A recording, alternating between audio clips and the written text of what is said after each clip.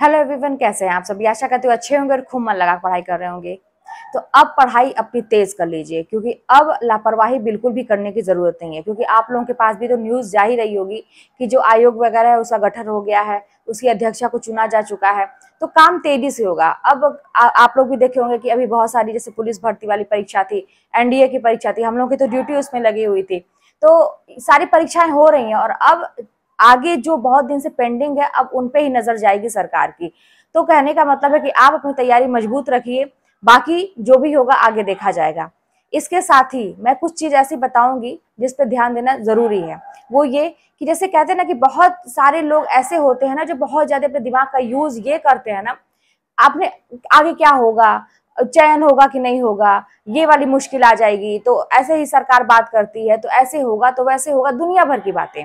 मैं ये कह रही हूँ ना कि इन बातों में कतई न पड़े क्योंकि ये बातें जो होती है ना एकदम से आपके समय को बर्बाद करने वाली होती हैं। कहते हैं ना जब पॉलिटिक्स होती है पॉलिटिक्स वाली बातें बहुत सारे लोग आएँगे है ना आपको ऐसी बातें करेंगे आपके सामने कि मतलब आपका रुका हुआ सारा काम हो जाएगा है ना आपके जो चयन प्रक्रिया होगी उसमें कोई धांधली नहीं हो, होगी बहुत सारे ऐसे ग्रुप आएँगे आपके सामने।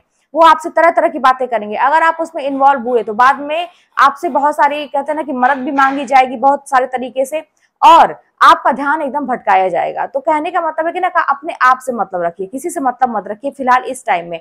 अगर आपको जरा सा भी ये भनक लग रही है कि अब परीक्षा हो सकती है, अब प्रोसेस धीरे धीरे शुरू हुआ है तो आपको अब इन चीज़ों में बिल्कुल भी नहीं पढ़ना है और ना ही किसी और से मतलब रखना है। देखिए क्या है ना दोस्तों मैं इस चीज़ को बहुत अच्छे से महसूस करती हूँ और ये चीज़ मैंने सीखा। जानते हैं क्या? जैसे पहले क्या था कि आ, मैं हमेशा कहते हैं ना कि लोगों से मतलब रखती थी। मैं चाहती थी कि आ, मुझे शौक लगता था कि मेरे फ्रेंड सर्किल बहुत जाते हो बहुत लंबी हो। कोई मुझसे पूछे तो मैं कहूँ कि अरे मेरी तो वो, आ, वो भी फ्रेंड है वो भी फ्रेंड है वो भी फ्रेंड है। मतलब फ्रेंड बनाने के चक्कर में मैंने अपना समय गंवाया है। एक टाइम में जब मैं तैयारी नहीं करती थी लेकिन वहाँ पर रिस्पेक्ट नाम की चीज़ नहीं होती है है ना? अगर आप आगे बढ़ बढ़ के किसी से बात करते हैं फ्रेंड बनाते हैं या आप इस सब में अपना समय मतलब देते हैं और अपना ध्यान इस सब में लगाते हैं कि कौन कौन मेरे इर्द गिर्द है कौन कौन मेरे फ्रेंड सर्किल में है, किससे मेरे रिश्ते अच्छे हैं, क्या है, क्या नहीं है। अगर इन सब में उलझे तो आप अपने ऊपर कभी भी ध्यान नहीं दे पाएँगे। आप इंडिविजुअल जो कहा जाता है ना कि अपने लिए कुछ नहीं कर पाएँगे। आपको अपने आप को सेपरेट करना ही पड़ेगा बाकी चीज़ों से। आप इस चक्कर में ना पड़े कि कौन मेरा फ्रेंड है, कौन मुझसे रूठ गया, कौन किसको मनाना है, कौन खुश है, कौन ना खुश है, किसी से कोई मतलब नहीं। अब क्या है, अब मेरी जो आदत है ना मैं बस अपने काम से काम रखती हूँ, कहीं भी। वो मेरा वर्क प्लेस हुआ, चाहे यहाँ घर पे हुआ, घर पे अपनी फैमिली जो है, उससे बातचीत करना अलग बात होती है, लेकिन एक होता है ना, बाहर ही अगर मेरे पड़ोस में भी कोई है तो मैं उतना ही मतलब रखती हूँ जितना ज़रूरी होता है। क्योंकि मुझे पता है कि अपने पास इतना टाइम नहीं रखना है कि हम बैठ के गप्पे शप्पे लड़ाएँ और हमारा दिन ऐसे ही बीत जाए और हम कुछ करें ना, अपने लिए कुछ करें ना यूजफुल चीज़ें ना करें। तो अब मैं इन चीज़ों में बिल्कुल भी नहीं, मेरी आदत ही नहीं है। अब अपने में रहना, अपने काम से काम रखना, कोई मिले तो बहुत प्यार से बोल देना, किसी की मदद कर देना, इन सब चीज़ों में मतलब मेरा विश्वास हो गया है और मेरी आदत ऐसी बन गई है। और देखते हैं ना कि जब ये 24 घंटे जो होते हैं ना, मैं तो यही सोचती हूँ कि लोगों के पास टाइम कैसे बच जाता है बाकी चीज़ों के लिए। यानी कि वो अपने काम को कहीं ना कहीं से इग्नोर कर रहे हैं, तभी वो दूसरी चीज़ में इन्वॉल्व होते हैं। मेरे पास तो नहीं टाइम बचता है। क्योंकि मेरा जो शेड्यूल है ना, छुट्टी रहे चाहे नहीं छुट्टी रहे, एक के बाद एक लगा रहता है कि इतने और घड़ी, जैसे मैंने बताया था कि जब मैं तैयारी करती थी तो घड़ी मेरी साथ ही थी, मैं एक एक चीज़ को देख देख के घड़ी देख देख के मैं तैयार करती थी कि ये टॉपिक इतने देर में करना है, ये करना ये करना इस तरह से। काम को भी मैं ऐसे करती थी।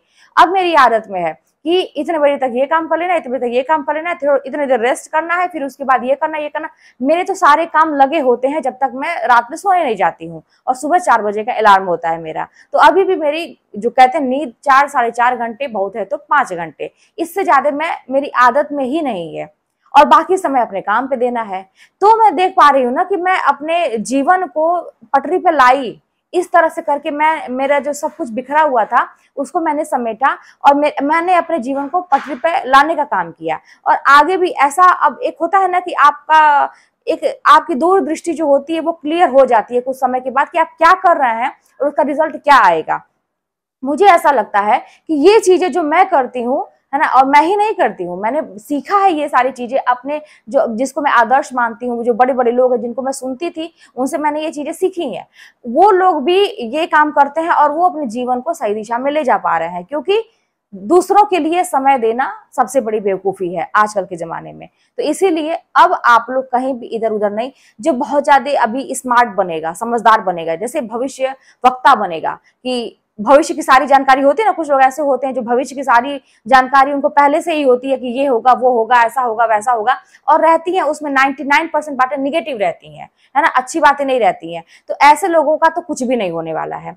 आप शांत रहिए, ऐसे लोगों से दूरी बना के रखिए नात रिश्तेदारों से दूरी बना के रखिए फ्रेंड से थोड़ी सी दूर हो जाइए मैं कहती हूँ कि अपने जीवन का एक दो साल एकदम से समर्पित कर दीजिए, काट दीजिए डिलीट कर दीजिए, उस जीवन काल से सोचिए कि ये कुछ है ही नहीं, ये पूरा ये एक दो साल दे दीजिए अपनी पढ़ाई को। और देखिए फिर जीवन भर आप आराम करेंगे, आनंद के साथ रहेंगे। जैसे कि आज मैं अपने जीवन को जी पा रही हूँ, कोई भी चीज़ खरीदनी है तो मैं खरीद पा रही हूँ, अपने खुशियों को मैं ला सकती हूँ जब मैं चाहूँ। और जो मतलब करने का मतलब है अपनी इच्छाओं की पूर्ति। छोटी छोटी तो इच्छाएँ होती हैं मेरी। मेरी तो बड़ी छोटी छोटी इच्छाएँ हैं उसी में मैं खुश हो जाती हूँ।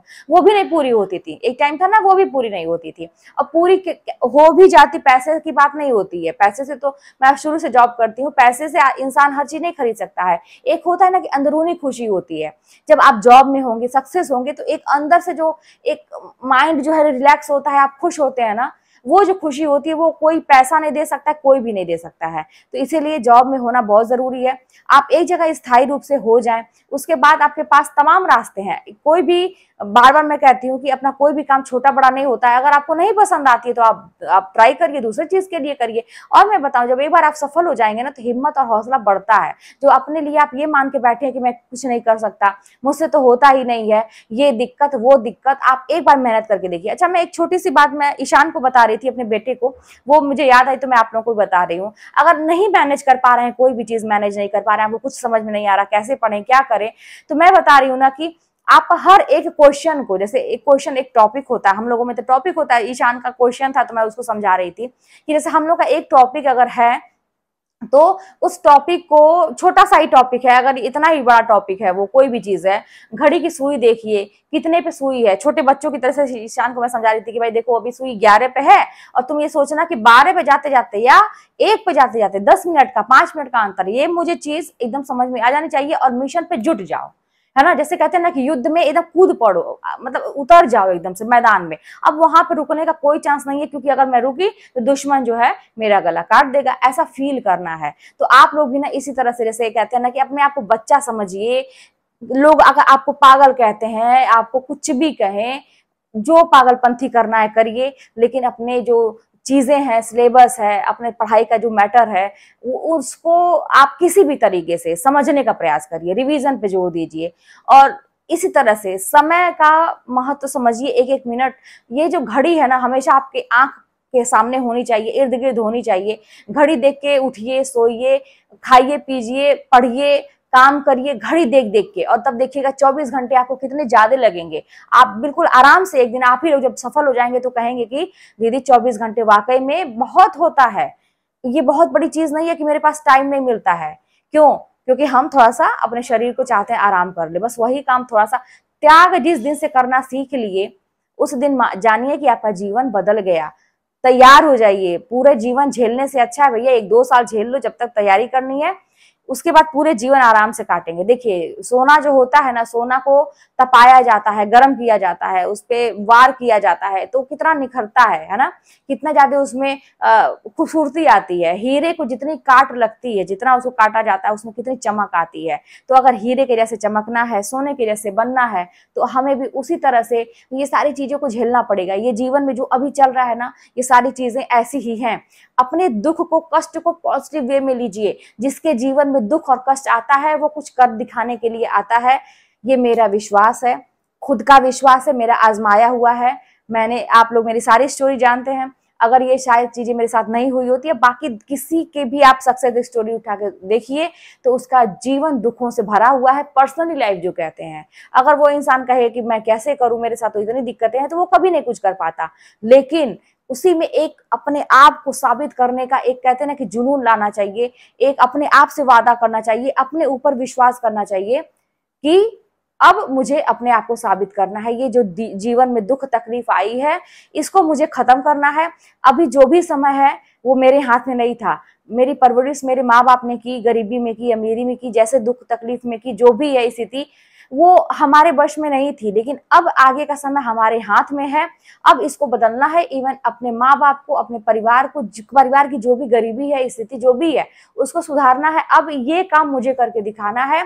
और एक होते हैं ना, कुछ लोग नाम के भूखे होते हैं, है ना? जैसे मुझे भी ना बड़ा अच्छा लगता है जब मेरी कोई तारीफ़ करता है। जैसे आप लोग अच्छे अच्छे कमेंट करते हैं ना तो मुझे मुट्ठी भर लोग बहुत बुरा बुरा बोलने वाले हैं, है ना? लेकिन आप लोग के कमेंट इतने ज़्यादा अच्छे हैं कि वो तो कहाँ गुम हो जाते हैं निगेटिव चीज़ें कहाँ चली जाती हैं, पता ही नहीं चलता है। तो ये एक एक जो आपसे मैं ये बातें करती हूँ ना, ये कहिए कि आप लोगों के लिए फ़ायदा नहीं है। मेरे लिए भी बहुत फ़ायदेमंद है ये, क्योंकि मैं पूरे दिन एनर्जी मतलब कहती एनर्जी महसूस करती हूँ कि हाँ मेरे अंदर कुछ है। मैंने लोगों को ऐसा बताया, लोगों को अच्छा लगा, लोग आगे बढ़ रहे हैं और मैंने कल ऐसा बोला था, मुझे, मैं खुश होती हूँ इन चीज़ों से। तो यही चीज़ है कि नाम की भूखे, है ना? काम के भूखे। भूख आपको अपने अंदर लानी पड़ेगी। किसकी भूख? प्रसिद्धि की भूख, कुछ कर दिखाने की भूख। वो भूख जब तक आपको ऐसे तड़प नहीं आएगी ना, तड़प अपने अंदर, तब तक आप सफल नहीं होंगे। तो भैया, वो समय आ चुका है। अब ये मत देखिए कि अब डेट आएगी तब। अब कोई नया, कहते ना कि शासन का आदेश आएगा तब। ये कुछ नहीं। जीवन में एक दो साल अब से भी, अभी तक आपने कुछ नहीं किया, ज़ीरो किया, कुछ भी नहीं किया, कुछ नहीं पढ़ा, क्या एज है? कुछ नहीं। देर हो गई, कुछ नहीं। गलती की अभी तक कुछ नहीं। सब खत्म। अब से नया जीवन, कल से, है ना? जब से मेरी वीडियो देख रहे हैं, कल से नया टारगेट बनाइए, करना शुरू करिए। और अब देखिए हंड्रेड परसेंट मैं विश्वास के साथ कहती हूँ, दावे के साथ कहती हूँ, कोई ऐसा काम नहीं है जो असंभव है। आप कर सकते हैं आप अपने आप को कमज़ोर मान के बैठे हैं, अपने ऊपर पहले विश्वास करना सीखिए और देखिए कि दुनिया आपकी मुट्ठी में है। ठीक है? दूसरों पे विश्वास करने से अच्छा है, अपने आप पे विश्वास करके देखा जाए। आत्मनिर्भर बने, किसी के ऊपर डिपेंड नहीं रहना है। अकेले हर काम करना सीखें, हर चीज़ आप कर सकते हैं। ठीक है? तो चलिए मिलते हैं नेक्स्ट वीडियो में, कोई बात होगी तो कमेंट के माध्यम से बताइएगा।